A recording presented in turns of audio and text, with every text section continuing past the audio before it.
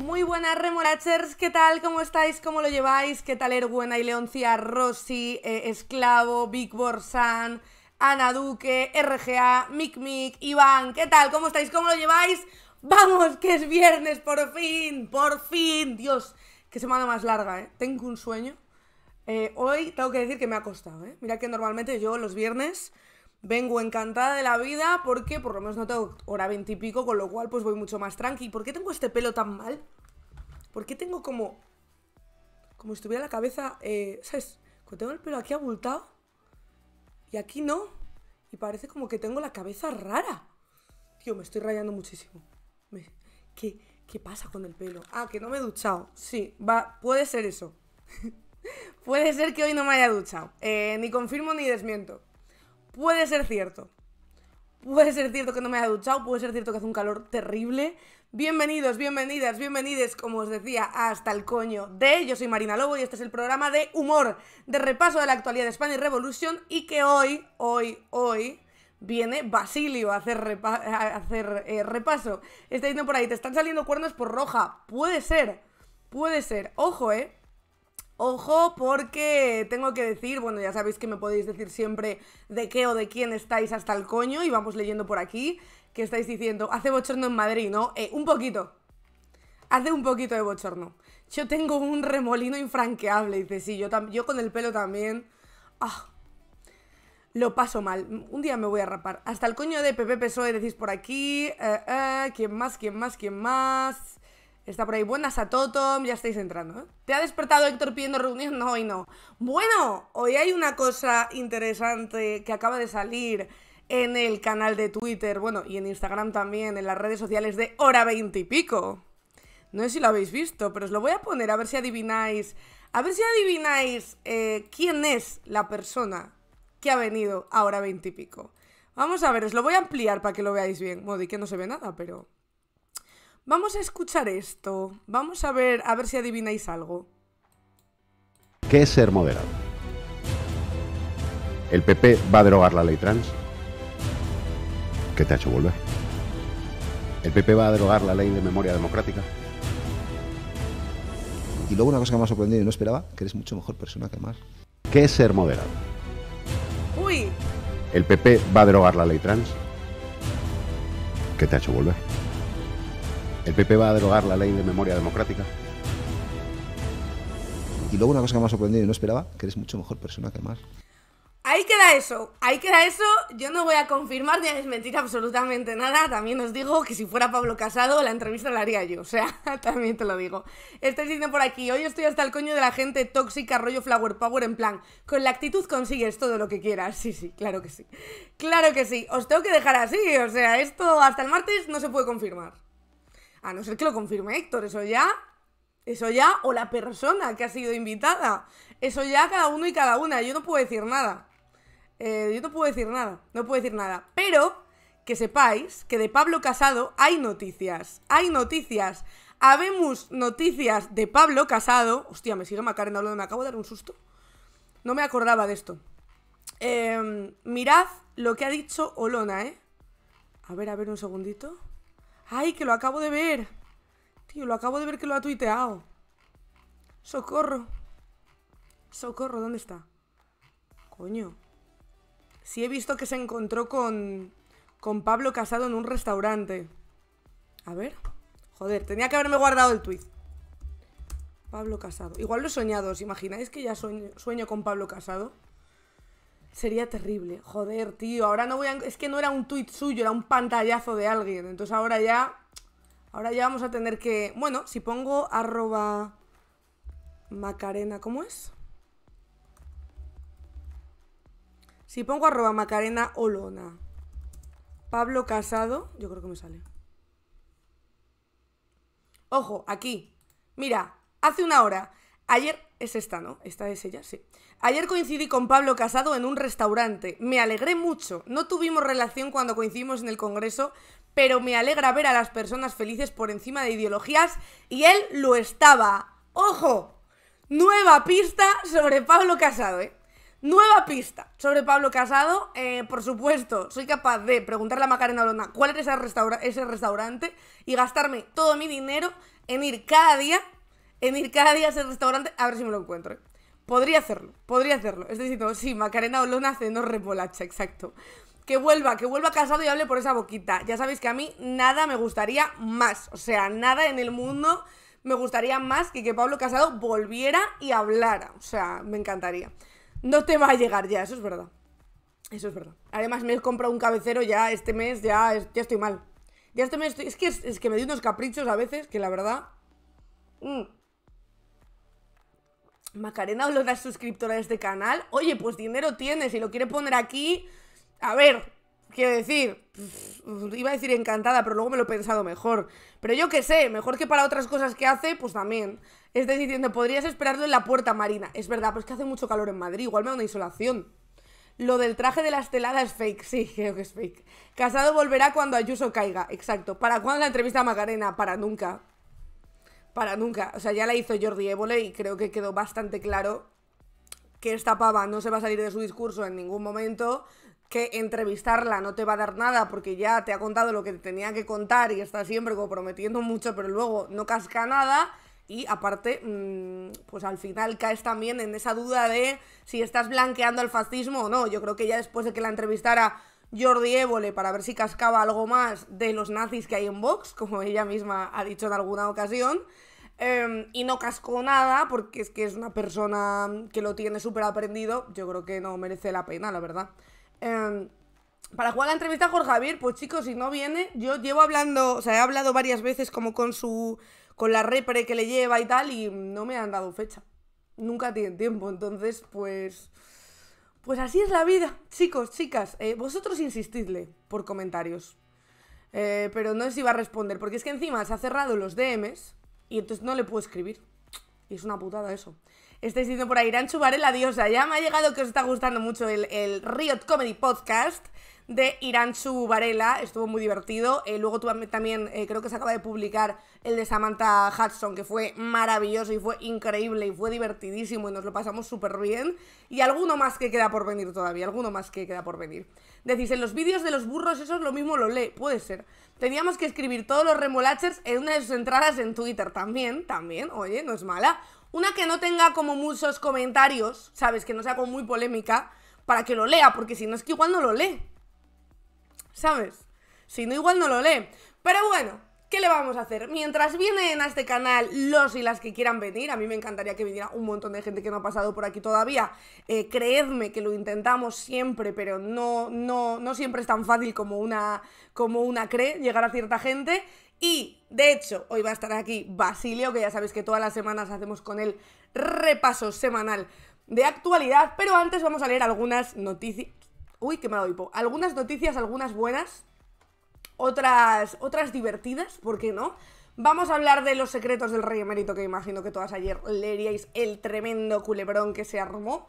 Em, con esa noticia que era el adelanto de un libro sobre los secretos del rey Juan Carlos y en el que se comentaba que podría tener una hija, etcétera, etcétera, y otras cosas más que ahora veremos, porque lo de la hija es lo que más viral se ha hecho y lo vamos a comentar, pero hay en otras noticias ya que están avanzando otros puntos del libro también muy interesantes. También vamos a hablar de Planeta y Villarejo porque hay exclusivas nuevas por ahí y también de Sumar, que es por donde vamos a empezar porque tengo que decir que hoy he leído que por fin em, empezamos a ver un poco cómo se va a organizar Sumar. Consultas populares y democracia directa a un nuevo contrato territorial. Sumar abre la ciudadanía su proyecto de país. La plataforma Yolanda Díaz lanza las primeras propuestas de sus grupos de trabajo que ahora podrán recibir aportaciones ciudadanas. La treintena de documentos recogen medidas en vivienda, sanidad o los partidos políticos. Y se puede participar registrándote y tal, y puedes participar en, los diferentes, si queréis ahora lo vemos, en las diferentes mesas o los diferentes em, grupos de trabajo. Dice aquí Alexis Romero, Sumar cambia de fase para abrir su proyecto de país para la próxima década de la ciudadanía. Tengo que decir que me sigue pareciendo todo muy atropellado porque he estado bichando la web y tal, que está muy guay, eh, para, eso, para entrar en las diferentes mesas de trabajo y tal. Pero es que claro, eh, eh, se cierran las propuestas en junio. Pero claro, de que se cierran a que se, a que se lee todo eso, luego se hacen las mesas de debate, se conforma el programa Es que va muy pillado de tiempo, tío. Ay, señor, no, no aprendemos, ¿eh? No aprendemos nunca. Sí, como hizo Podemos exactamente, pero está, está, bastante, está bastante guay. Em, dicen por aquí que eso que ha hecho público este jueves los documentos elaborados por los 35 grupos de trabajo en distintas materias y sectores y el objetivo es que ahora los ciudadanos que quieran hacerlo puedan acceder a los mismos, hacer propuestas y contribuir o modificar las aportaciones de los grupos. Entre las materias que tratan estos documentos, que no son un programa electoral o político al uso, sino un compendio de propuestas para asentar las bases sociales de la próxima década, destaca la sanidad, la educación, calidad democrática y participación política, fiscalidad o energía. En materia de calidad democrática en el grupo trabajo dirigido por el politólogo Ignacio Sánchez Cuenca, destaca la propuesta de aprobación de una ley orgánica de participación que buscaría cerrar las brechas democráticas y de representación entre la ciudadanía, la clase política y su impacto en las instituciones. Dicen aquí que si bien el 15M surgió como una demanda de mejora del sistema político, los problemas estructurales han continuado. Los partidos han invadido grandes espacios de la vida pública y la corrupción sigue siendo una lacra que la sociedad española no tolera. En este sentido, se apunta a reducir el poder partidista en asuntos que no deberían serlo, por ejemplo, a través de comisiones plurales de nombramiento de los diferentes poderes del Estado que incluyan a servidores públicos, pero también a miembros de la sociedad civil, es decir, el documento propone establecer la lista de instituciones del Estado en las que la dirección no puede corresponder a un nombramiento discrecional del gobierno, una comisión de personas expertas que cuente con un amplio apoyo parlamentario ha de encargarse de especificar las instituciones cuya dirección ha de quedar al margen del juego de la alternancia política política. Correos, paradores o el CIS sin nombramientos del gobierno. Dicen que entre esas instituciones estarían Correos, Paradores Nacionales, la Biblioteca Nacional o el CIS. El primer paso debe consistir en establecer la lista de instituciones del Estado en las que la dirección no puede corresponder a un nombramiento discrecional del gobierno. Y esto es muy interesante una comisión de personas expertas que cuente con un amplio apoyo parlamentario ha de encargarse de especificar las instituciones cuya dirección ha de quedar al margen del juego de la alternancia política. Es verdad que va a pasar una cosa, que evidentemente se va a tratar muchísimo en escoger y luego habrá presiones seguramente para escoger a un experto o a otro experto. En este texto también se recoge la posibilidad de aumentar la participación política directa más allá de los referéndums consultivos recogidos en la ley que requieren de procedimientos complejos y agravados, consultas populares no vinculantes. Bueno, esto ya se ha hecho. Yo me acuerdo en más sitios, Podemos lo hizo en más sitios, pero aquí Carmena, por ejemplo, hizo consulta para ver eh, el proyecto de Plaza España, etcétera, etcétera. El grupo de trabajo de modelo territorial analiza la situación del denominado Estado de las Autonomías y las tensiones nacionales y soberanistas que arrastra históricamente España.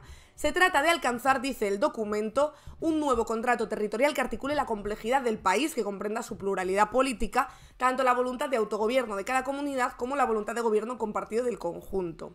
El pacto que proponemos prosigue desborda el autonomismo, postula una síntesis muy exigente de autogobierno y de gobierno compartido, cumplimiento exhaustivo de los estatutos de autonomía, refuerzo competencial cuando se demande y se acuerde, así como innovación de políticas e instrumentos de cooperación. Y como os digo, se pueden hacer aportaciones ciudadanas eh, hasta el 2 de junio.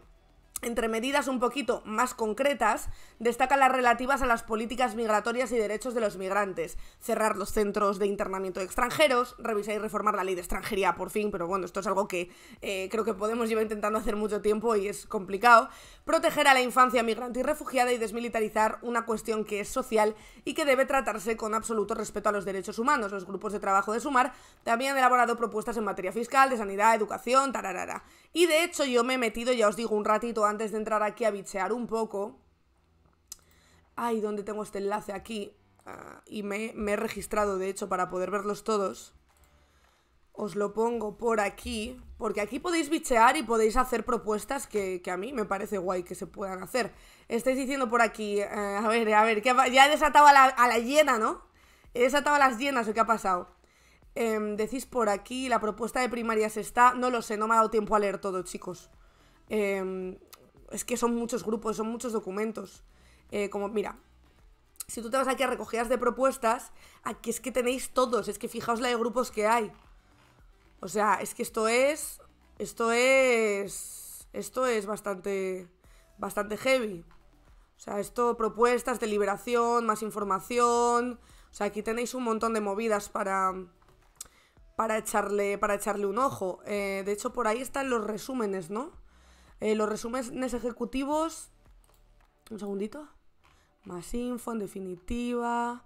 Acceder a la información completa. ¿Veis? Es que aquí en cada uno podéis Eh, mira, anda, está Aida Gascón, de la mesa de, protección de los animales, qué guay. Em, pero aquí eso podéis ver. ¿Quién está al frente de cada mesa? ¿Cuántas mesas hay? Eh, propuestas definitivas. Está un poco todo aquí. Todo aquí, pero hay que echarle. Hay que echarle tiempo. Hay que echarle tiempo. Podemos ver, por ejemplo. ¿Queréis que veamos alguno en concreto por ahí? Este diciendo por aquí, te has registrado. me he registrado, me he registrado. Hombre, me he registrado porque igual participo. A mí me gusta participar en estas cosas. A mí me gusta proponer. A mí ya sabéis que me interesa la política de un modo em, activista, ¿no? no dentro de la política, pero sí desde, desde fuera. A ver, educación, universidad, trabajo. Trabajo decente, esta me interesa. Esta me interesa. Propuestas. A ver quién está en esto. Más información. Amparo Merino Segovia. No la conozco. Eh, catedrática de Derecho del Trabajo, ta, ta, ta, ta, el trabajo. Un plan de reformas para proclama- proclamar un estatuto del trabajo que articule la protección a través del fortalecimiento de los derechos. Seguridad laboral, derechos colectivos, trato digno. Accede a la información completa, vamos a ver. Vamos a ver, mucho texto estáis diciendo. A ver, me imagino que luego esto lo irán concretando. O sea, es verdad que los resúmenes. A ver, tienen que ser así, ¿no? Los resúmenes te van contando un poco por sectores. Trabajo y constitución, trabajo y seguridad social. Pero vamos, aquí tenéis. Aquí tenéis varias cosas. Aquí tenéis varias cosas para leer, las bases de cada mesa y para a partir de ahí eh, proponer cosas. Dicen por aquí el derecho al salario digno, eh, un salario mínimo sobre la base del 60% del salario medio, el derecho a un salario adecuado en valor del trabajo prestado, el derecho a un salario adecuado en valor ta, ta, ta, tiempo de trabajo, el derecho a una persona trabajadora a no prestar su actividad más allá del tiempo, el derecho a la reducción del límite máximo de la jornada en función al reparto de trabajo. Bueno, aquí hay varias cosillas interesantes para, para echarle un ojo, yo creo. Em, ya os digo, ha salido hace unas horas y no me ha dado tiempo, he estado esta mañana un poquito... He estado esta mañana viendo un poquito por encima, pero puede ser interesante echarle un ojo más en profundidad. ¿Para los animales proponen algo? Pues lo vemos. Sea, aquí se puede ir mirando. Y em, si hay algo... Hombre, está Aida Gascón. Yo me imagino que si está Aida Gascón, que por si no la conocéis, eh, es una de las principales activistas por los derechos de los animales, es una máquina. O sea, yo espero que sea una propuesta interesante, la verdad. Vamos a ver qué proponen. Vamos a ver. Aquí tenéis la información completa. Protección de derechos de los animales, reflexión sobre el diagnóstico, principales problemas en el, en el y desafíos, eh, horizonte para el sector, eh, apuestas de futuro y compromisos. Aquí hay varias cosas. La capacidad de animales. Ya os digo que Aida Gascón yo tengo bastante confianza. ¿eh? Principales problemas, el abandono de animales, la convivencia con animales de familia, espectáculos tradicionales, como excepción en las legislaciones de la protección animal, en nuestro país se hostiga, maltrata y da muerte a animales en espectáculos públicos como forma de ocio, cultura y entretenimiento, algo prácticamente inaudito en la Unión Europea, a excepción de unas pocas zonas del sur de Francia y de Portugal. Las corridas de toro, unas 1.500 año, al año, han perdido medio billón de asistentes en los últimos cuatro años, ta ta ta ta ta. Eh, tres leyes estatales regulan, por otro lado la cría, el entrenamiento y las peleas ilegales de gallos, o sea, aquí pone el foco en los problemas, es decir, que entiendo que abogarán por la eliminación de la tauromaquia. Eh, horizonte, educación ambiental y empática en consonancia con una sociedad que avanza hacia el respeto y la convivencia. Defendemos la derogación de la Ley 18-2013 para la regulación de la tauromaquia como patrimonio cultural, con el objetivo de respetar las competencias en materia de espectáculos de las comunidades autónomas, claro, como siempre, y que sean estas, si lo desean y así lo acuerden según demanda social, las que puedan decidir de manera en la que se desarrollarán estos espectáculos o el fin de los mismos.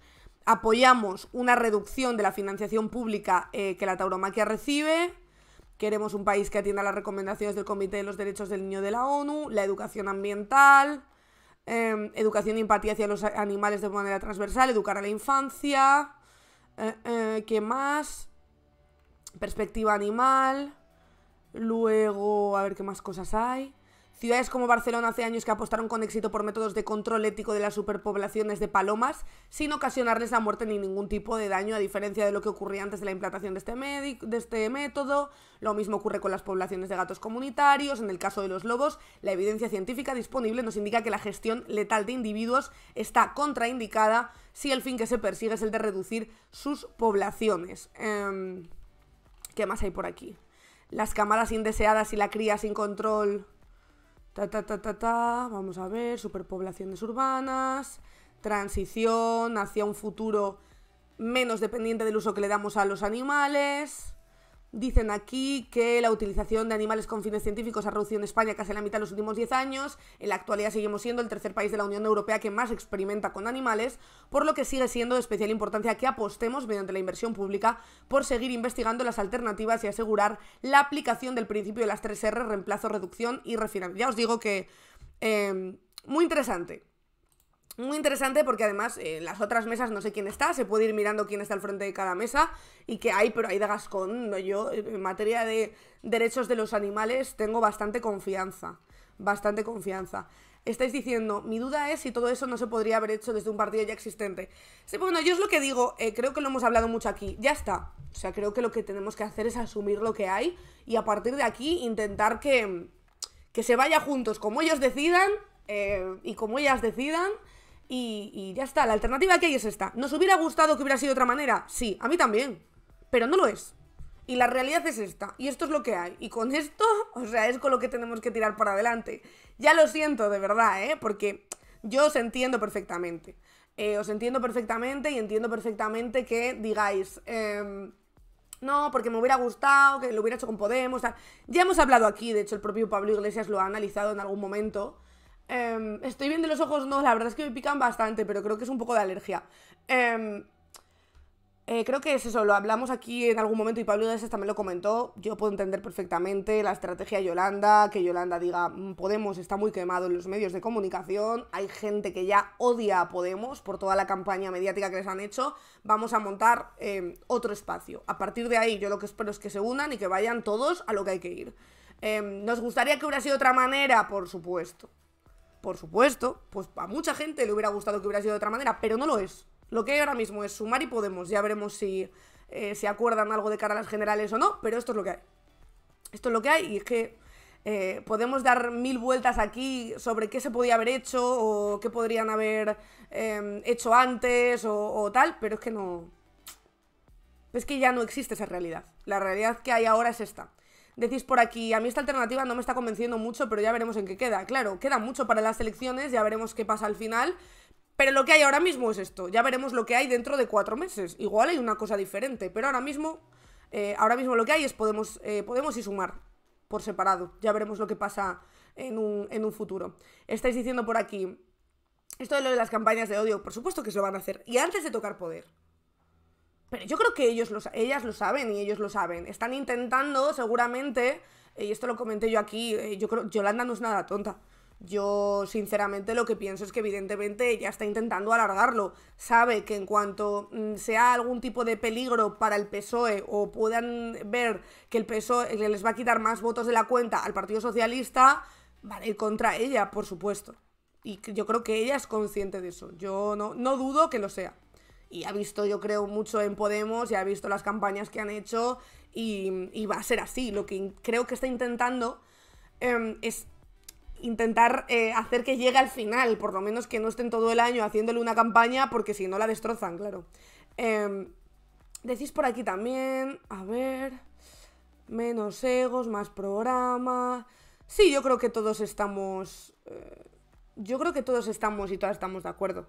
Eh, yo creo que lo importante ahora es que miren por el, por el bien común, que hagan lo que tengan que hacer, que hablen, que se sienten y, que se pongan de acuerdo y que decidan ir juntos o por separado, porque ya llegados a este punto, yo antes estaba muy convencida de que em, al final iban a ir juntos. Sigo pensando que al final creo que van a ir juntos porque van a ver que, que la sangría de votos de ir por separado es completamente absurda. Eh, pero si van por separado, por lo menos que se hagan el menos daño posible, porque lo bueno y lo que queremos aquí todos y todas es que los partidos de izquierdas tengan más representación en el Congreso de los Diputados y que, y que eh, la izquierda tenga más fuerza. ¿Para qué? Para poder cambiar las cosas. Entonces, ahí sí que estamos todos de acuerdo. Partiendo de esa base, cómo lo hagan ya no responde a nosotros, nosotros podemos eh, gritar aquí, chillar, enfadarnos, patalear, como he hecho yo y como seguramente habéis hecho todos, pero la última palabra la tienen ellos, y ellas sobre todo, la tiene Yone Belarra, la tiene Irene Montero, la tiene Yolanda Díaz, eh, y, nosotros no podemos hacer otra cosa que informar de lo que va ocurriendo y ver cómo se van desarrollando los acontecimientos, claro. Yo creo que irán juntos, dice por ahí Mick Yo espero que también voy a beber café, tengo un sueño. Oye, qué taza guapa, eh. La de cuidado remolacher hasta el coño, ¿eh? Mm. Mm. Decís, ¿crees que ir juntos ahora es bueno? Yo creo que sí. Después de la mierda que se han metido, puede que la gente sea el bando que sea. Eso es lo que. Yo lo he dicho mucho desde aquí. A mí me gustaría que los políticos escucharan cuando eh, la gente, pues la gente que está en redes sociales, tenga más o menos seguidores, me da igual. Mucha gente les ha dicho, oye, Vale, o sea, yo, por ejemplo, estoy bastante metida en, el tema política, sé cómo funciona, etc. Yo entiendo que todas esas discusiones y todas esas declaraciones públicas son para crear tu marco y para construir tu relato.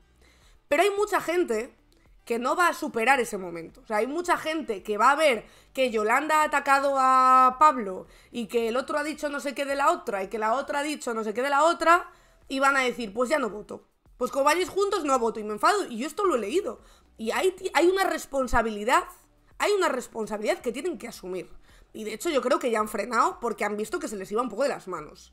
Em, decís por aquí también, em, a mí lo que me pica es que uno es más de decir las cosas y otro de entrar al trapo de politiqueo correctísimo. Yo lo que pienso es que... que son estrategias de cada uno. Son estrategias de cada uno. Ahora el problema es que la peña no sabe qué son estrategias de cada uno y diga, hostia, pues pues yo me he enfadado y yo ya no quiero votar a esta aunque ahora se abracen y vayan juntos. Y es que eso es una posibilidad real, que creo que le hablamos aquí en su, en su momento. Es una posibilidad real. Cuanto antes se calmen las aguas, que yo sinceramente sí que he visto eh, que por lo menos desde el boom ese de la presentación, de sumar y todo eso, se ha calmado un poco la cosa. Creo que han frenado un poco. Espero que estén sentados y sentadas a negociar. Eh, ¿Veis por aquí? Es que hay gente que dice, ellos iban juntos, no les voto. Es que es fuerte. Es que esto es peligrosísimo para la izquierda. Peligrosísimo. Fijaos que se puede votar a Podemos eh, sabiendo que va a pactar con el PSOE, pero hay gente que dice que no va a votar a Podemos y va con Yolanda. Esto es muy peligroso, ¿eh? Esto es muy... Yo he estado... Yo lo entiendo. O sea, yo he estado cabreada también. He estado hasta el coño. Em, pero creo que, bueno, y creo que eh, también con el tiempo, porque evidentemente venimos de dos semanas muy jodidas, en las que se han dicho muchas cosas, en las que ha habido cosas terribles, mm, entrevistas que no nos han gustado, etcétera, etcétera, etcétera, y yo lo entiendo perfectamente, yo también me he cabreado, eh, queda tiempo, si templan eh, y calman las aguas durante estos meses y al final llegan a un pacto o no, em, bueno, pues todavía yo creo que se puede construir algo creo que han hecho bien en ver que por ese camino no iban a ninguna parte. Y creo que empiezo a ver, incluso, fijaos, desde eh, Twitter y cuentas de redes que han pinchado mucho en esta guerra eh, Sumar Podemos, mm, les veo hasta más relajados. Caras conocidas hablo, ¿eh? No trolls, no peña que va loca, ¿sabes? No, no esto. Caras conocidas les veo más relajados. Y eso me hace pensar que por fin han entendido que la estaban cagando muchísimo, la verdad. Estáis diciendo por aquí, eh, después de toda la mierda que se tiran unos a otros, a ver luego...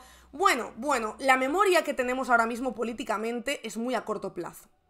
Muy a corto plazo. Yo creo que si de aquí a las elecciones, que queda todavía para, digo para las generales, no para las municipales y autonómicas, pero si de aquí a las generales va bien la cosa, la gente se va a olvidar de esto. Ahora nos parece imposible porque está muy reciente, pero si pasan unos meses y negocian y están tranquilos y hablan bien y demuestran que, que, pueden hacer un diálogo político el uno con el otro, eh, yo creo que se, se, nos olvidará. Pero tienen que hacer ese trabajo, ¿eh?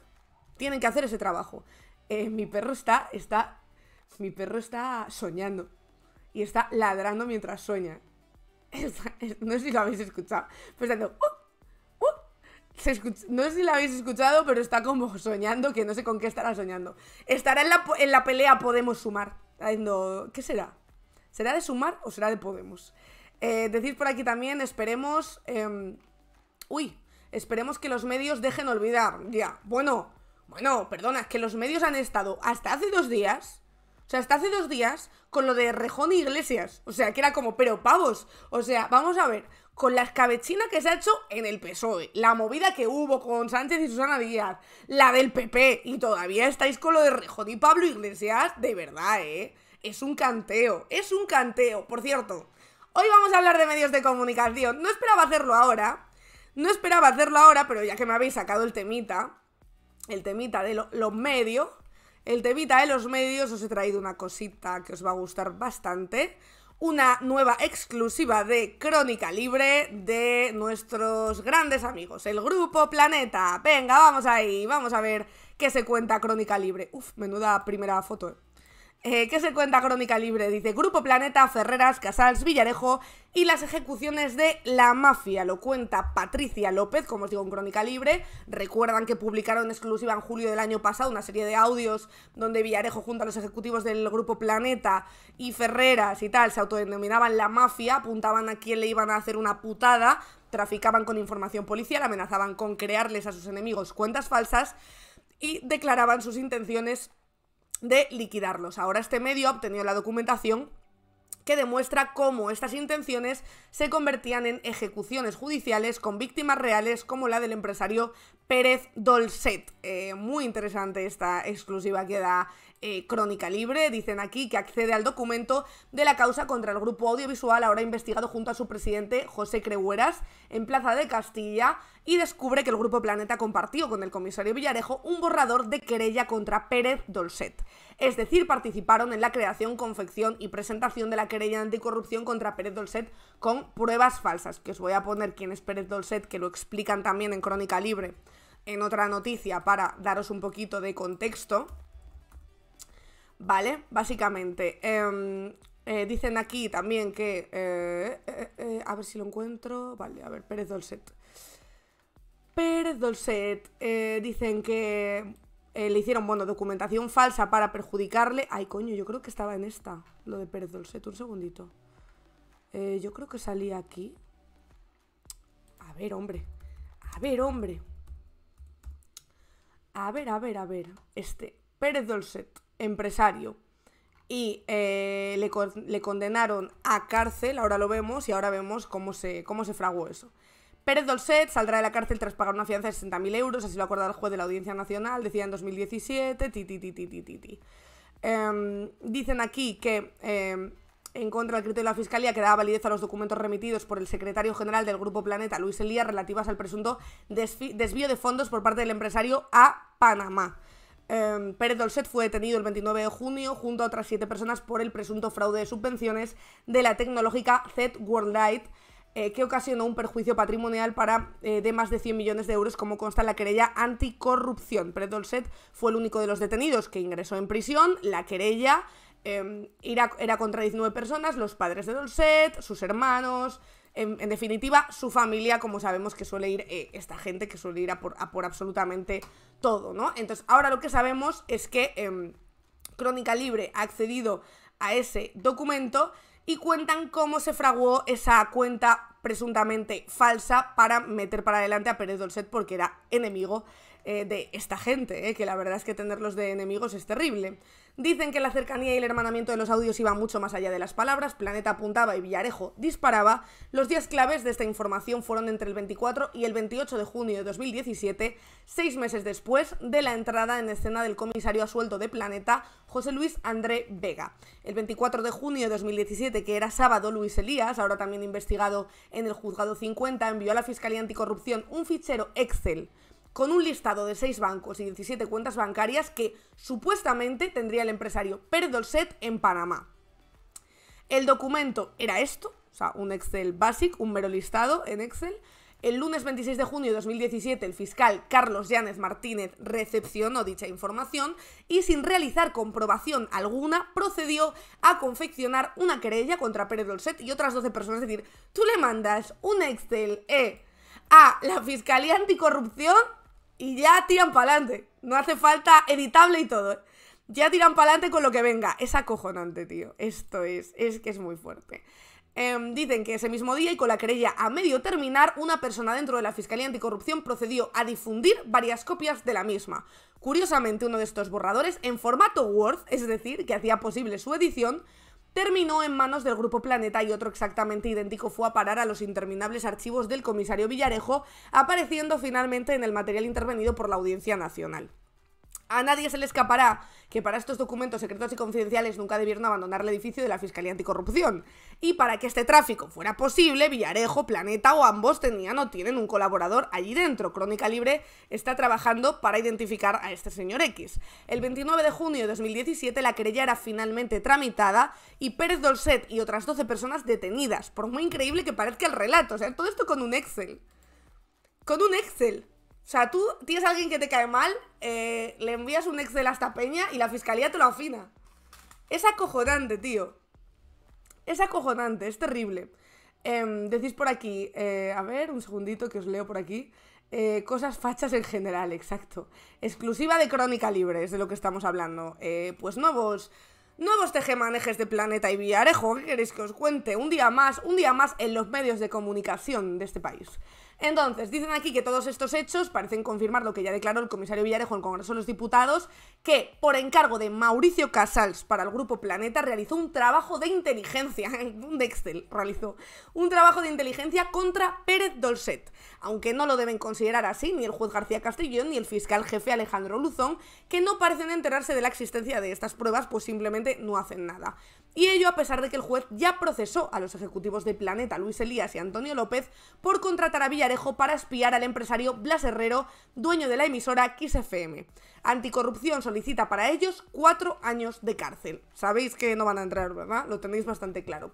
La factoría del crimen que montó el grupo Planeta con Villarejo pasará a la historia por sus frases memorables. Somos la mafia, estas cuentas las hacemos con el rabo, somos un clan o fue una semana muy dura, pero conseguimos que dimitiera. Pero no sabemos la suerte que correrán sus víctimas, pues tras más de cinco años de instrucción, sigue sin haber investigación judicial en la Audiencia Nacional sobre las maniobras contra Pablo Iglesias, Juan Luis Cebreán, José Manuel Soria o Xavier Trías. Esperamos que este varapalo de los juzgados de Plaza Castilla haga despabilar a García Castellón y a los fiscales anticorrupción. Y de hecho ya sabéis que aquí está eh, eh, la otra exclusiva de Crónica Libre, que es que el Grupo Planeta y su presidente están investigados por falsedad en documento privado, revelación de secretos, eh, denuncia falsa y estafa procesal. Este es el Grupo Planeta. Esto es el Grupo Planeta, estos son los medios de comunicación de nuestro país y este es el día a día de cómo fabrican, fabrican los bulos en, este, en este grupo. Villarejo y su rabo da para reflexionar, la verdad que sí. Oye, feliz cumpleaños, ¿de quién es el cumpleaños por ahí? ¿De quién es el cumple? ¡Ay, de Victoria! ¡Felicidades, Victoria! ¡Aplausos! ¡Claro que sí!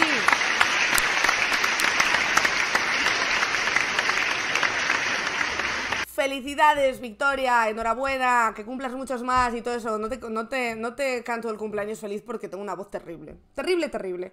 Mm. El mío fue ayer, dice ¿me crees? Pues felicidades para ti también, un abrazo, un beso, aplausos, felicidades a todos y a todas. Para mi cumple ya no queda tanto, ¿eh? 22 de junio, ya sabéis que es que yo empiezo la cuenta atrás muy pronto para mi cumpleaños. Oye, por cierto, recuerdo que ya antes que he bebido el café me habéis dicho, quiero una taza, no sé qué.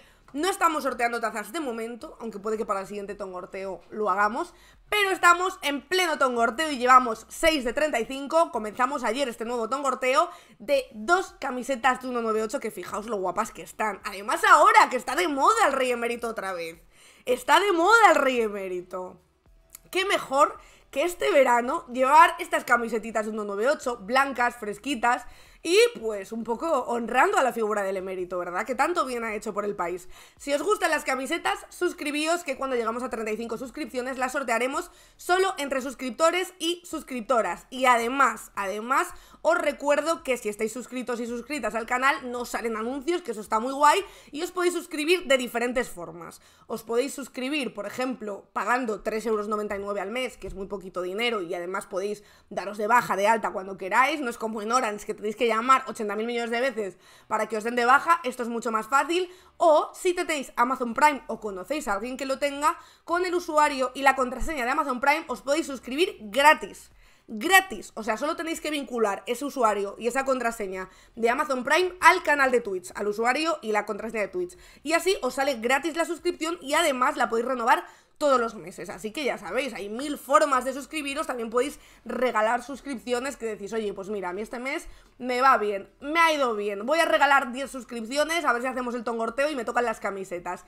Y además, siendo suscriptores y suscriptoras, no solo entráis en este tongorteo, sino en todos los que hagamos. Y además, eh, más o menos cada semana o cuando vayamos acabando el tongorteo, vamos haciendo diferentes. Por ejemplo, ¿Cuándo fue? ¿Ayer o antes de ayer? No, ayer no porque no estuve.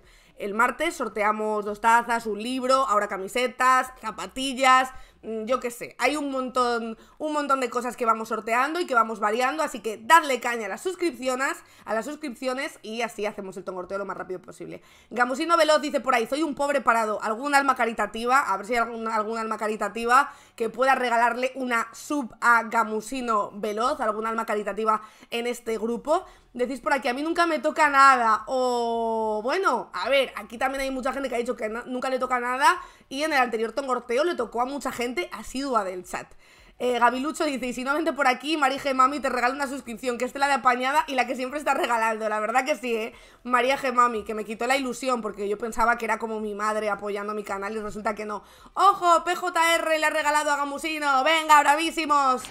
Grande gente. Grande gente, el Serni dice, no toca, pues las tengo todas yo las camisetas en un cajón. Las tengo todas yo. PJR dice, venga que cobra, vamos. Madre mía, lo que me queda a mí para cobrar. Yo hasta el 10 no cobro, eh. 10, eh. Aguanta hasta el 10. O sea, es que es terrible. O sea, lo de cobrar el 10 es lo peor que me ha pasado nunca. Mm. Yo no he cobrado, dice Ana Duque, yo tampoco, Ana Duque. Mm, fíjate lo que me queda a mí, o sea, es que me queda todavía medio mes. Medio mes me queda todavía para cobrar. Es que yo ya no tengo dinero. ¿Cómo puede ser? Cobrar el 10 debería estar penado por ley, ¿verdad? Eso es lo que digo. Yo digo, tío, yo cuando firmo un contrato, por ejemplo, de alquiler de piso, tengo que pagar antes del día 5 y si no me penalizan, porque a mí me pueden pagar el 10. Es que es acojonante, ¿eh?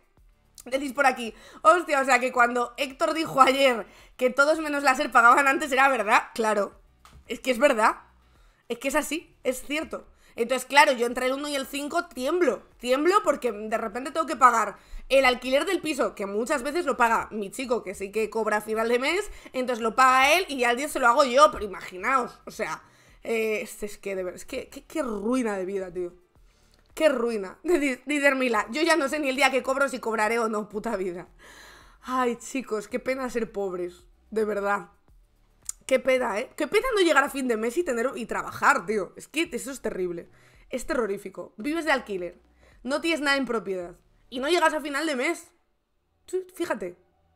Fíjate. Es terrible. Decir, si pagara las facturas con lo que me sobra del mes anterior, no pagaría nada. No, claro. Claro que no.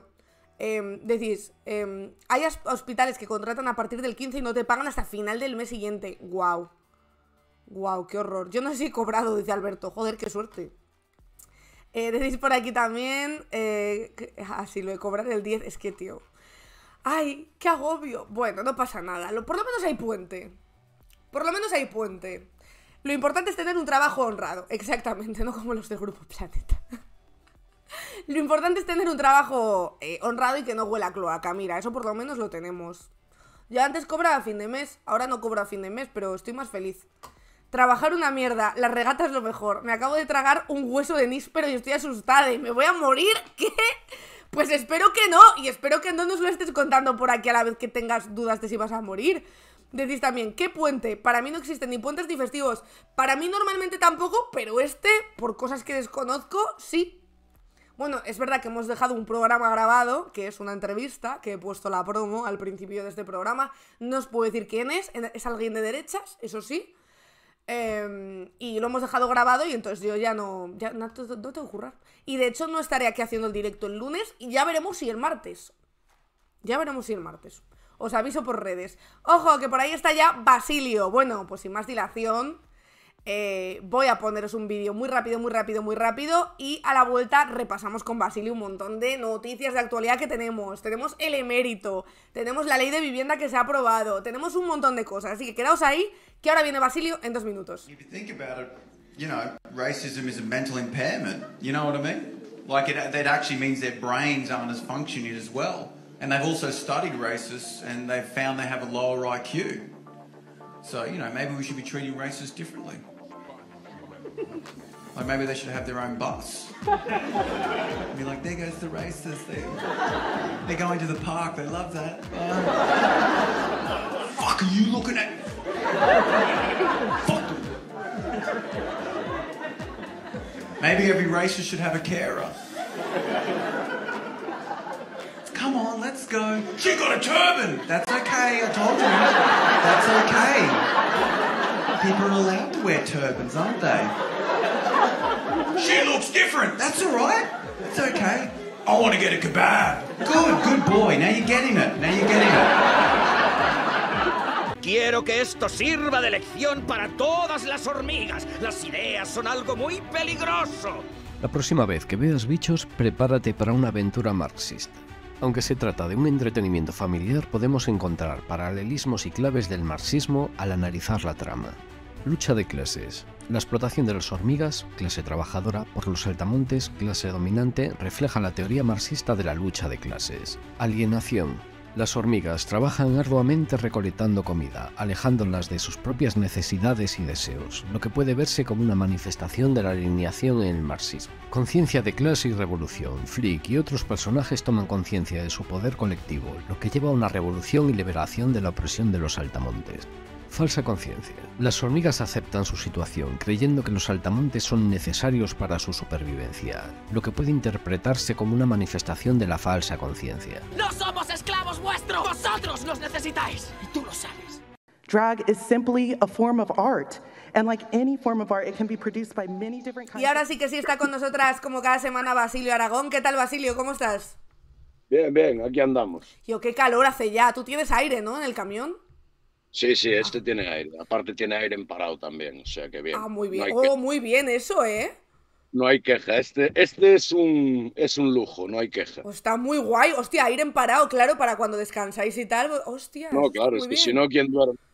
A ver, te dura una hora, hora y media, Bueno. pero bueno, es el tiempo justo para que te coja el sueño y después, pues, es lo que hay. Oye, pues está muy bien, ¿eh? Me gusta eso. Me lo voy a poner yo en el coche también. Voy a Está dormir guay. Está guay. Oye, vamos a hacer, si te parece, repaso de actualidad. Eh, si quieres, empezamos por la ley de vivienda que se ha aprobado esta semana en el Congreso de los Diputados. ¿Qué te parece? Porque es verdad que aunque eh, tiene muchas cosas buenas que hemos analizado aquí, lo cierto es que la mayoría de las cosas no se van a cumplir en muchas de las comunidades autónomas, claro. A ver, lo que es curioso, lo que es curioso es que en 45 años de democracia la primera ley de vivienda se haya aprobado justo ahora que hay un gobierno de coalición. Hmm. Eso es un detallito que la gente debería de empezar a fijarse. Después, claro, aquí tenemos el problema de las competencias. Habrá comunidades que lo aplicarán y comunidades que no. Pero bueno, la gente tendrá que saber a quién vota y por qué en su comunidad no tiene las ventajas que la ley de principio le podía dar. Sí. Pero bueno, a ver, yo sigo diciendo lo mismo. O sea, esto era más sencillo que todo esto. Hmm. Esto era tan sencillo como decir, señores, el precio del metro cuadrado es este, punto y se acabó. Y de aquí no se puede cobrar más. Y todo lo que se cobre de más, te voy a meter una crujida de impuestos que te voy a dejar temblando. Claro. Totalmente. Yo un 155 por esto sí que lo vería. Este, Sí, este sí que lo apoyo. Sí, no, no, yo lo tengo clarísimo, vamos. Es que la, vivienda O sea, es un derecho estamos- fundamental. Entonces, como, bueno, chico, pues. Es que si no tienes vivienda, si no tienes vivienda, no tienes nada. hmm, Porque para comer, como quien dice, para comer en España hoy en día no se muere nada de nadie de hambre. Sí. Pero es que tú eh, necesitas un techo donde dormir, necesitas una dirección donde poder darte de alta en los servicios, Sí. donde, donde, donde empadronarte, donde para cobrar una beca, para cobrar una ayuda y mismo para trabajar. todo, para todo, O claro. sea, es que eso eh, es que es algo de primera necesidad, pero bueno, como decía aquel, es que también es un bien de mercado. Bueno, pues también es un bien de mercado, no, amigo. Dicen por aquí un 155 para Madrid. Ojalá solo fuera para Madrid, porque en Castilla y León está jodidísimo. Andalucía, ni te cuento. País Vasco, es una barbaridad. O sea que no es un tema ya solo de No, Madrid. Y, y en Vigo vamos por el camino igual. Bueno, y en Cataluña, en Barcelona igual. O sea, Nosotros la política que tiene el señor Gusiluz de potenciar el turismo, pues lo que está haciendo es echando a la gente toda de los barrios del centro. es que, ¿sabes Y qué? se está poniendo, Es- se está poniendo esto imposible. Es una imposible. putada porque tienen las competencias las comunidades autónomas, que me parece bien, pero luego hay una cosa clara. Por ejemplo, Colau sacó una ley para, eh, em, eh, ¿cómo se dice?, limitar los pisos turísticos, pero luego lleva a juicio a pisos turísticos y los jueces dicen que, que no, hay, que no hay fraude. Y entonces es como, tío, eh, no sé... O sea, es muy difícil eh, legislar y poder sacar adelante incluso tus propias normas. No, claro, porque en el momento que le dejas un mínimo hueco por el cual escaparse, Claro, se van claro. a escapar. Sí, o sea, sí. hay que hacer las leyes muy bien, muy bien para que no se puedan escapar por ningún lado. Sí. Y yo de hecho bueno, creo que si yo- fueran yo de sigo am- diciendo, Claro. Didi. hay cosas, hay cosas es como, es como la sanidad. O sea, debería de ser obligatorio, pues, por ejemplo, que cada comunidad autónoma invirtiera tanto dinero por habitante. Punto. O sea, y a partir de ahí, que unos invierten más es su problema, pero el mínimo lo tienes que cumplir. Sí, sí, sí. Y con la vivienda debería de haber algo parecido. Exacto. que fuera de obligado cumplimiento. O sea, si tú tienes tus competencias y lo gestionas, pero a partir de aquí. O sea, de aquí para arriba lo gestionas, pero de aquí para abajo esto es así para todo el mundo. Hmm, Pero bueno, Completamente, pero bueno, en esas estamos. A ver en qué acaba el tema de la vivienda, porque en algún momento la peña no sé qué va a hacer, vamos. No, es que la generación esta que ahora tiene 25, entre 25 y 35 años, esa gente no se va, no se puede, no se va a dar independizado. Claro que no. Sí, la, la media, lo leímos creo que fue la semana pasada un informe, que la media de emancipación, de irte de tu casa y tal, está en 28 o 29 en España. No, en, en 28, 29 y te tienes que ir con una pareja. Claro, claro, no, no a Lo piso compartido. Lo cual después crea muchos problemas, porque hay mucha gente que está en pareja porque no les queda otra. Sí, sí, sí. O sea, es que la cosa es muy, muy complicada. Yo muy no sé, chungo. Mm.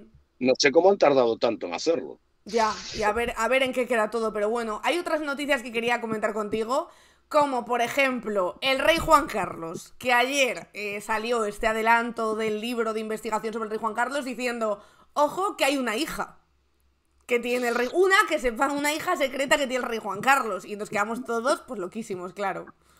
Una que se sepa. Una que se aquí- sepa, claro. Y toda la vida se ha dicho que cuando estuvo en la Escuela Naval Militar de Marín, que, que a determinada señora de Pontevedra hubo que ponerle un estanco porque se había quedado embarazada de él. ¿En serio? Y eso, sí, sí, eso es en Pontevedra es Voz Populi, No, vamos. no me conozco nada de esa historia, no, me- no la sabía. No, Y supongo que habrá más historias en otros sitios de España. Este señor ya sabemos, pero al final, bueno, a mí, a mí los hijos que tenga este señor me da igual. A mí lo que me preocupa es los que tenemos que mantener nosotros. Claro, claro, no, no, a ver, que esa hija la estamos manteniendo también, ya lo sabemos.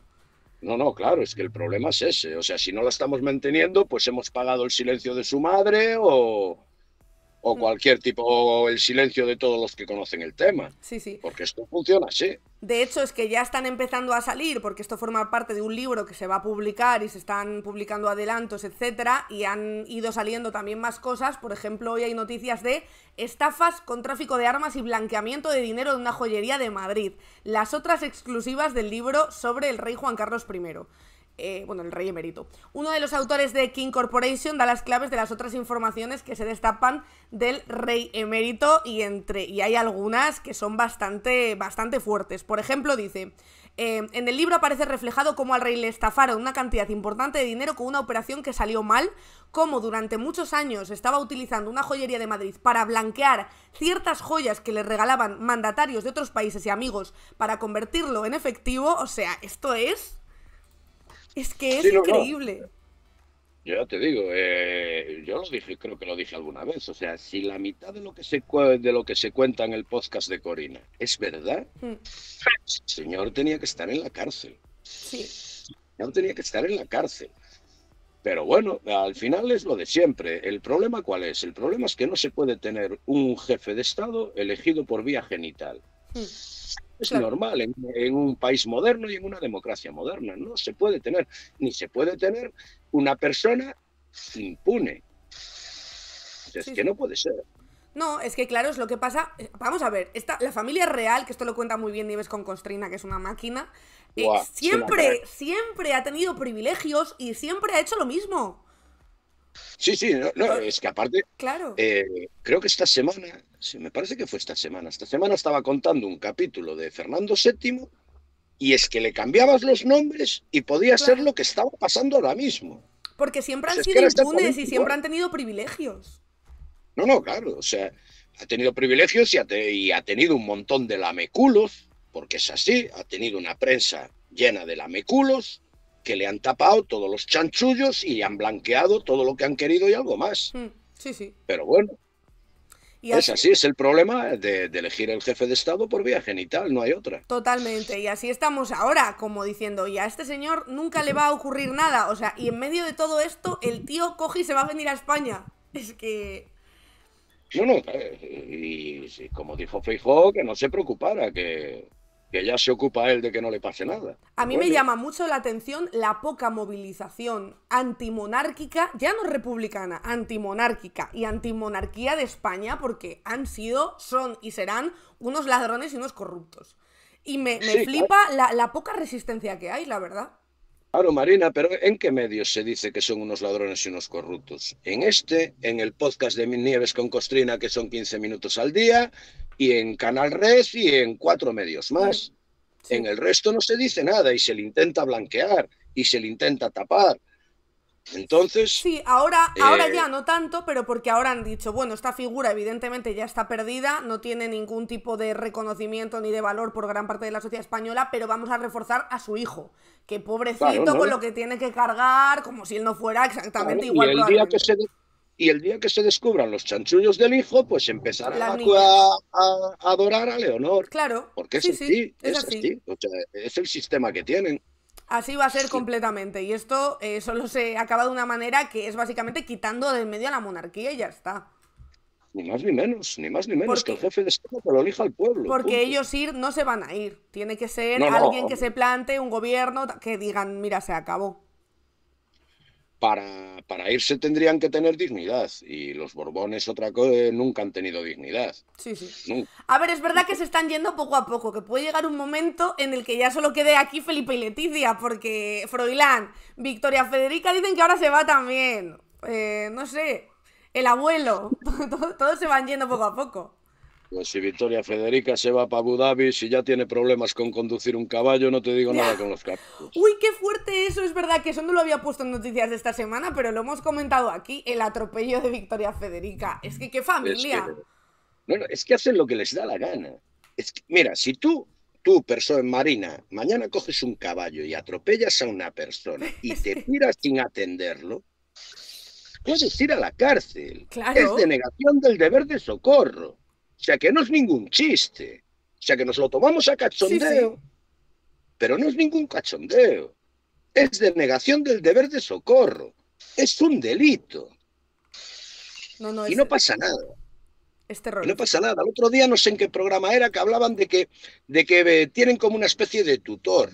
Tutor no, lo que tienen es un salvamarrones. Claro, claro. O ella como el hermano. Y seguramente dirían, uy, la- lo ha atropellado, nos tenemos que ir, porque si no, imagínate, que nos pilla aquí la prensa, saca la foto y tal. Y han dicho, que le den por culo a la pava. ¿Sabes? Y se han pirado. Si tú vas sereno, si tú vas bien y tienes un accidente, es un accidente. Tú bajas, te paras, pides perdón, tal, te preocupas por la persona, llamas a una ambulancia si hace falta y tal. ¿Por qué huyes? Huyes porque sabes que no estás en buen estado. No hay otra. Hmm, No hay otra. No hay disculpa para dejar a un accidentado tirado. No la hay. total, total.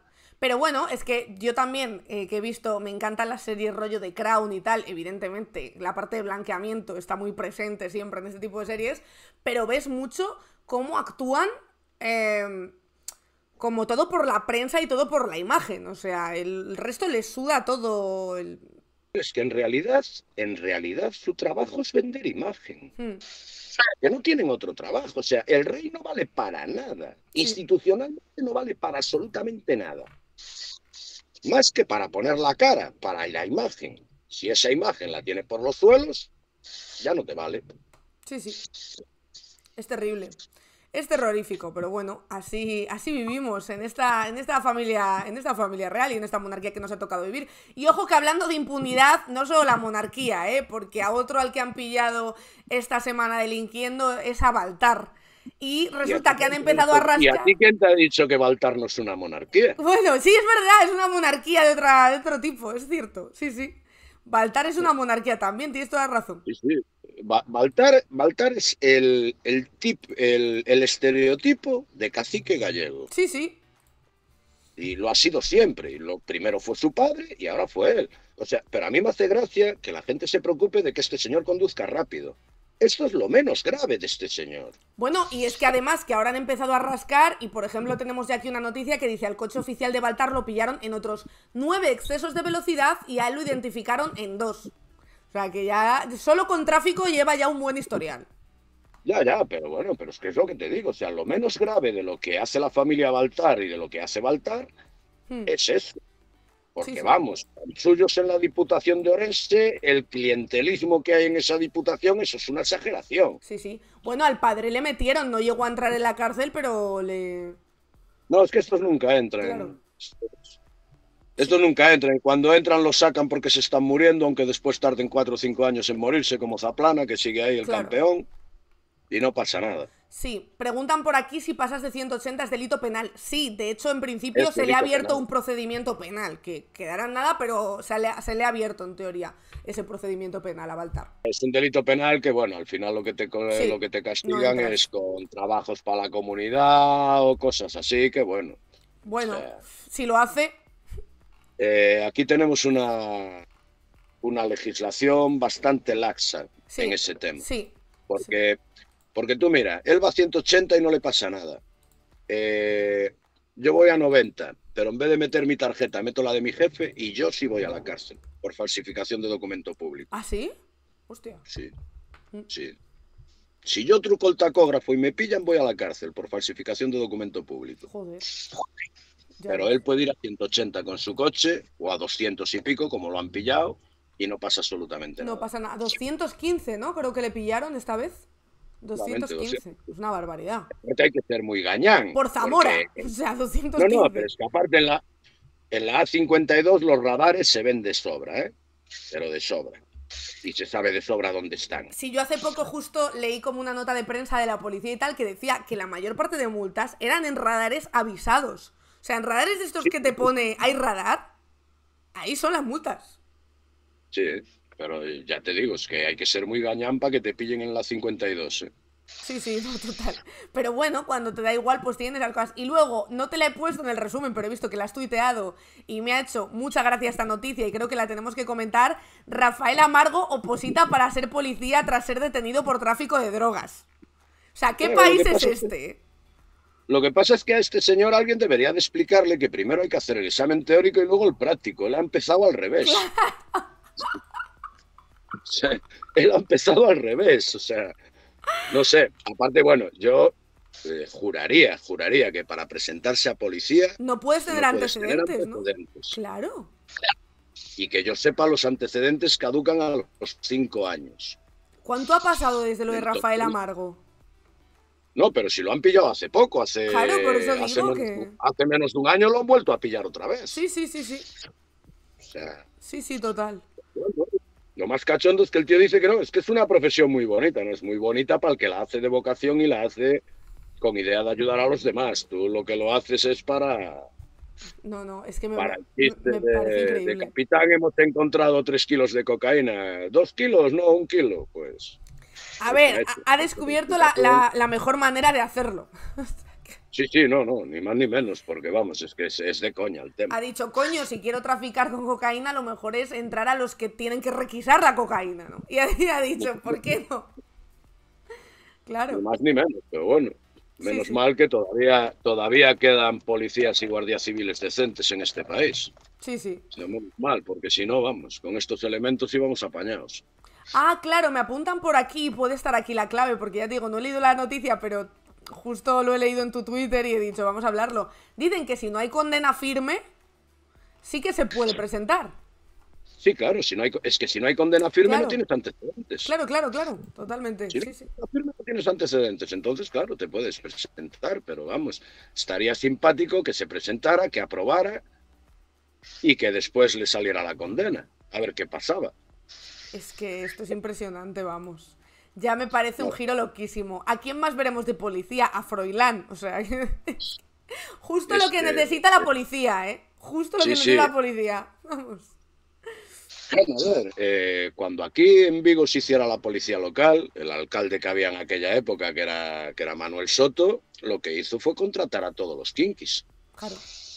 Sí, sí, o sea, lo peorcito de Teix y lo peorcito de Colla, que son los dos barrios más chungos que había en Vigo en aquella época, fue a lo que contrató para la policía local. Sí, sí. Risas, o sea. Impresionante. Los personajes que no veas. En fin, una gran semana. ¿Qué nos deparará la semana que viene? Pues ya lo veremos, porque con puente por Sí, medio. es- este país es muy sorprendente. Y lo que dices tú, con un puente por, de- por medio, miedo me da. Puede pasar cualquier cosa. Oye, Basilio, muchas gracias por estar con nosotras. Hasta la semana Nada. que viene. Gracias a vosotras. Un beso. Venga. Adiós. Chao. Ahí tenéis a Basilio, a Bulldog Punk, y ya que hemos visto esta noticia de Rafael Amargo, vamos a leerla y si queréis ahora buscamos edad, lo- los antecedentes y todo esto, a ver cómo es la cosa.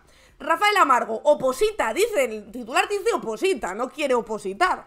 Oposita para ser policía tras ser detenido por tráfico de drogas. Lo cuenta José Luis Martín Rojas en La Vanguardia, dice que el bailador flamenco Rafael Amargo está atravesando, está atravesando un momento difícil. Eh, sí, eso nos queda claro. Después de pasar una temporada alejado del foco mediático tras sufrir, varias detenciones por tráfico de drogas que el artista definió como muy injustas, el granadino ha vuelto al ruedo y ha atendido a los medios de comunicación.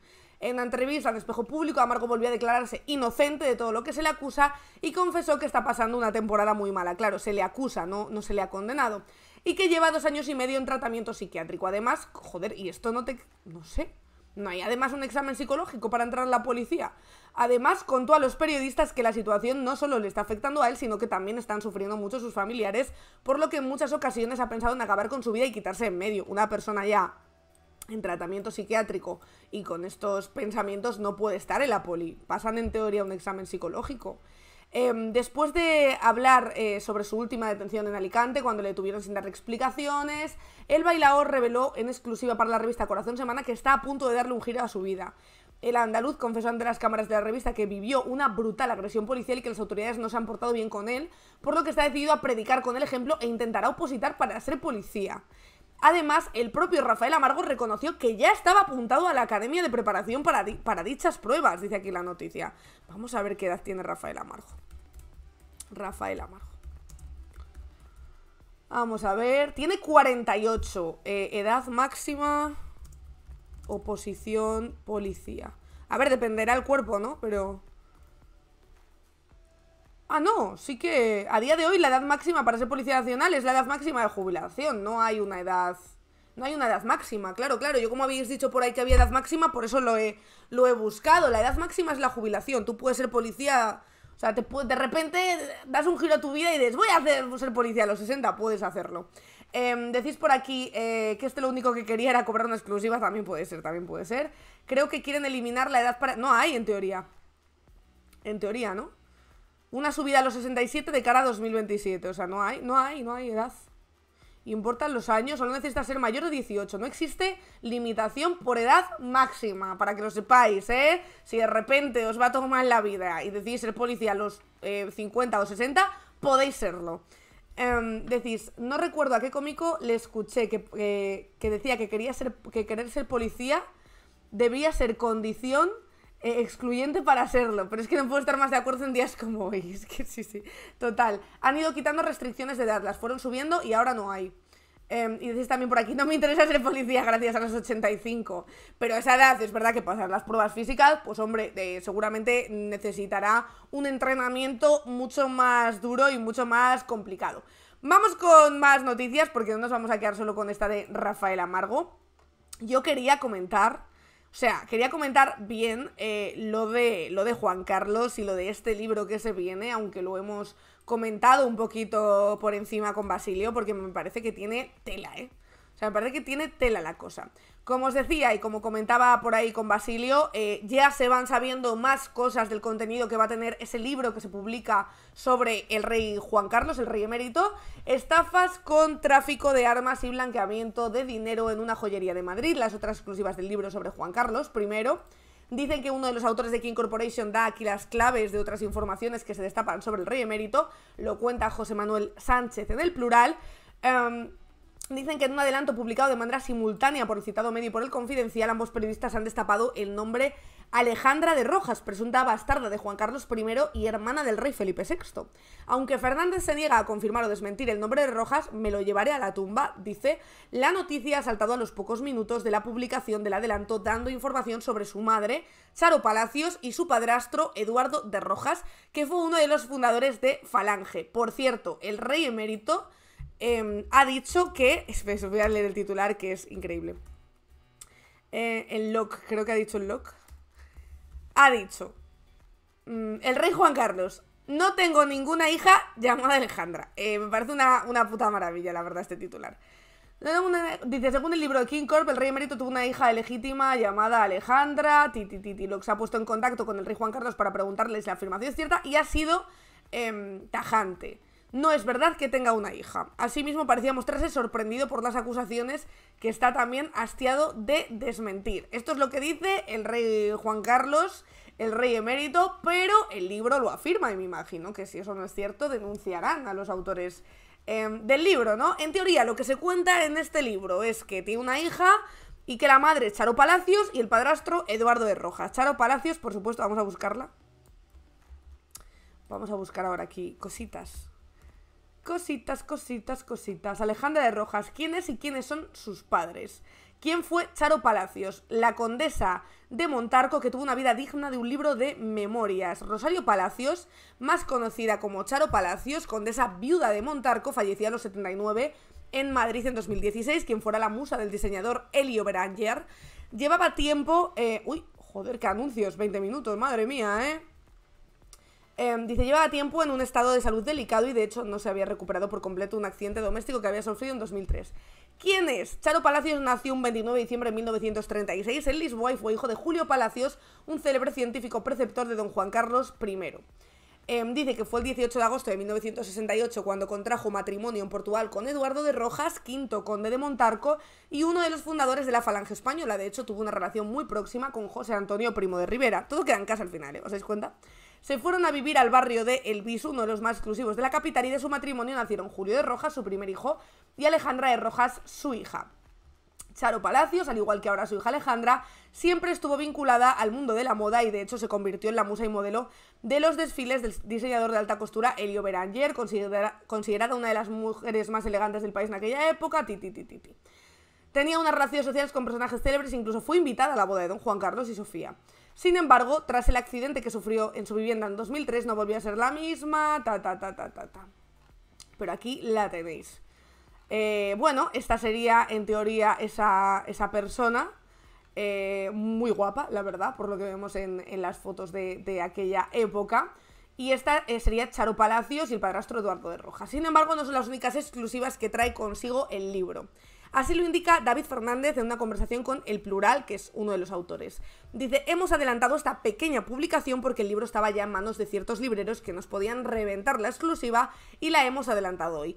Hay más novedades en el libro. Resumiendo, en el libro aparece reflejado cómo al rey le estafaron una cantidad importante de dinero con una operación que salió mal, como durante muchos años estaba utilizando una joyería de Madrid para blanquear ciertas joyas que le regalaban mandatarios de otros países y amigos para convertirlo en efectivo, porque claro, con tantas amantes tienes que llevar siempre cash, si no, eh, eres un pobre. Profundizamos sobre sus relaciones con el Golfo Pérsico y esos regalos generosos que recibía. Profundizamos también en sus relaciones con Corina en el ámbito empresarial o esos vuelos que estuvo disfrutando durante años de manera opaca mientras se lo pagaba un primo. Es un análisis de la caja B del monarca indica el autor. La estafa de la que fue víctima Juan Carlos I, según fuentes conocedoras del libro, está relacionada con el tráfico de armas.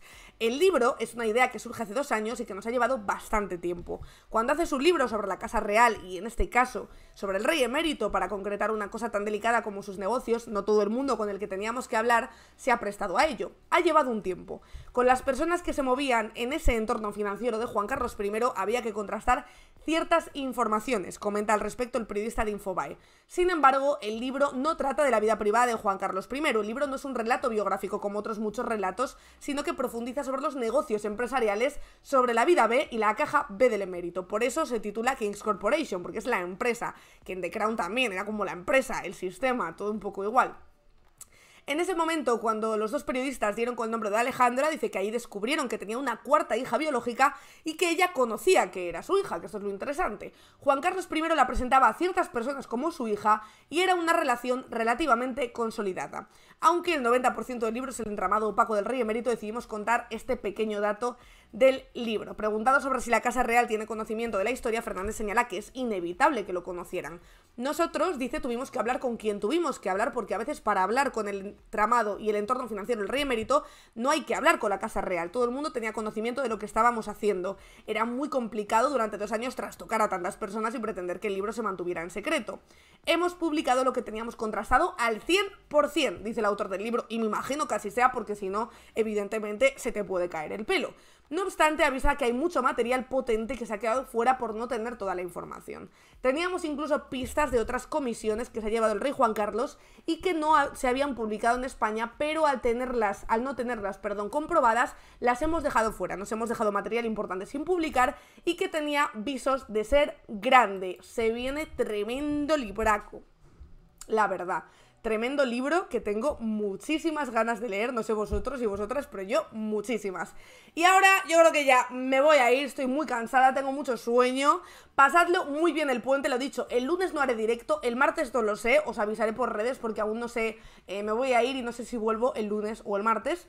Em, entonces os iré avisando por redes, no me echéis mucho de menos, eh, supongo que seguirá habiendo contenidos de España y Revolución, no sé qué va, qué va, a hacer los demás, pasadlo muy bien los que os vayáis, los que os quedáis en casa, pues tocaos mucho el coño, ver series, hacer cositas, no hay tongorteo, el tongorteo es cuando lleguemos al 35 y vamos por 7 de 35. Si queréis tongorteo, hay que suscribirse, ¿no? Claro, sorteamos, se suscriba o no la gente. Madre mía, a ver, que somos de izquierdas, y no tenemos dinero, pero hombre, de eso a tener una deuda, de eso a tener una deuda, que por cierto recuerdo que estamos sorteando dos camisetas 198 guapísimas, así que si queréis que hagamos tongorteo, dadle caña a las suscripciones. Y yo me voy a ir ya, voy a ver con quién os dejo.